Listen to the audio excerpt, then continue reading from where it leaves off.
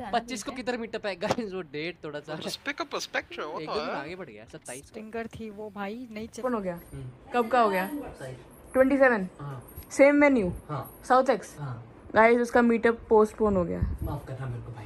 तो तू एक बार अपडेट क्यों नहीं कर रहा लोगों को व्लॉग तो में? आज ही पता चले तो अभी पता चला। तो अभी करना तेरे से पहले मैं कर दूँगी। जा तो कर दे ब्लॉग में मैं- मेरा वैसे परसों जाएगा। गाइस इसका ब्लॉग तो परसों जाएगा इसका मीटअप पोस्टपोन हो गया लेकिन सेम जगह पे। जगह तो